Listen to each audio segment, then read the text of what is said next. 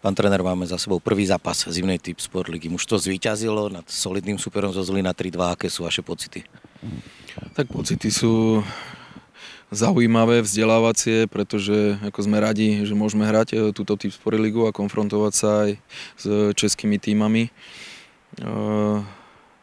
Ja som v tomto zápase chcel vidieť a dať priestor hráčom, ktorí možno menej hrali, možno v kooperácii, v inom zložení.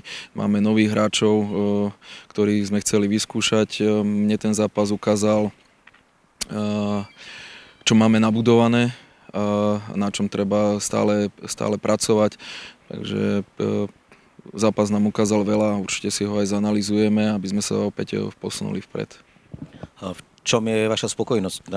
Prvý polčas vyzeral výrazne lepšie, až možno do toho záveru, čiže prvý polčas bol niečo, čo ste chceli vidieť od chlapcov?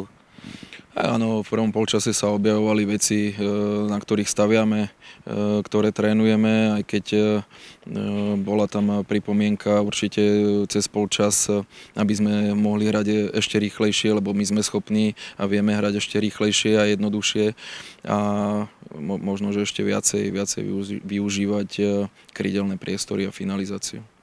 Máte pred sebou netradičné obdobie, hneď po ligovej sezóne je tu príprava a veľmi dlhý čas do ligy, čiže ako toto vnímate?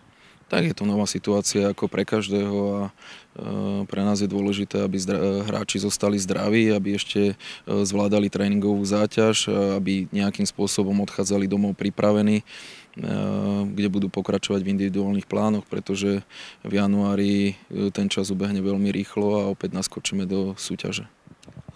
Môžete povedať aj viac k novým hráčom, je ich tu viacero, pravdepodobne všetko skúška?